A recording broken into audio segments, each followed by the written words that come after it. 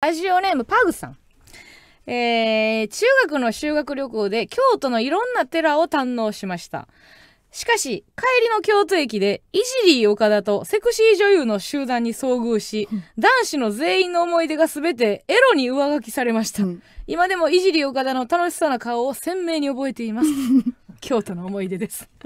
いいですね。京都の思い出が、はいはいうんえー、下の出し入れに変わりました。金閣寺、銀閣寺、うんいえいえ、下の出し入れです。こちらも京都行っていいですか？じゃあ、私も。京都対決行きましょう。行きますね。うん。えー、ラジオネーム、キャリーパグパグ。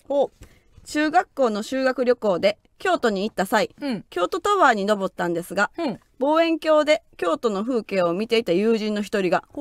あのホテルの部屋にいるおじさん、うんパンイチでパソコンいじってると言い出し、え？それを聞いたクラスメートが、うん代わる代わる望遠鏡を覗き、うん。ホテルでパンイチで過ごすおじさんを観察するという時間がありました。すごっ楽しかったです。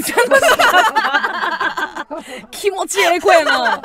楽しかったんや。京都ですね。京都対決。自分、なんか自分なりのツッコミ入りそうなお便りやったのに、いや、何々何回とかうん言いそうやったけど、はい。楽しかったです。正々堂々としておりましたけど。